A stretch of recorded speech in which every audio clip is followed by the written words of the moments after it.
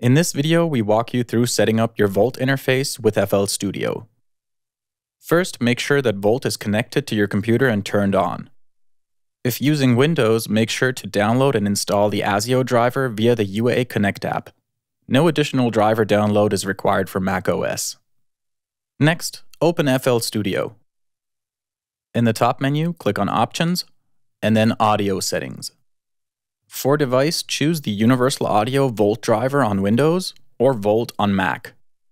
This will allow you to hear playback from FL Studio through Volt's headphone and monitor outputs and record audio into FL Studio from Volt's inputs.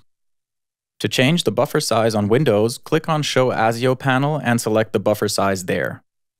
If you're using a Mac, then you can change the buffer size by moving the slider to the desired position. Increasing the buffer size can alleviate playback issues like clicks and pops caused by high CPU loads, but will also increase latency when playing virtual instruments.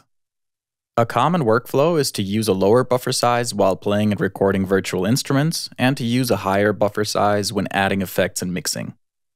To record audio, go to the mixer on the bottom. In an empty audio track, click on Insert and select the input that you want to record from the drop down menu. Be aware that in the default session Basic 808 with limiter, the drums are routed to channels 1 through 4, so start with track 5 for recording any other signals. If you're using Volt's direct monitoring feature, make sure to deactivate software input monitoring.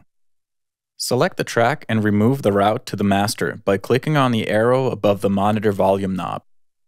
Now you can record and enable the track and start recording.